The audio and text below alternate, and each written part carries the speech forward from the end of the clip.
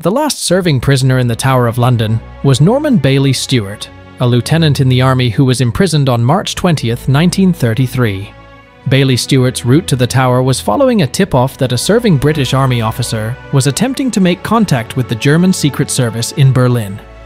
It was eventually confirmed it was Baillie-Stewart when, in November and December 1932, MI5 opened letters to him containing cash.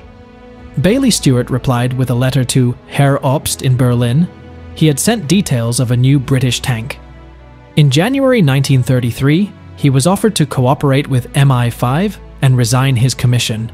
He refused and was charged with secrecy offences and imprisoned in the tower. Later, he was convicted of espionage and was released from prison in January 1937, where he became a German citizen and broadcasted propaganda through the Second World War. Please subscribe now for new updates.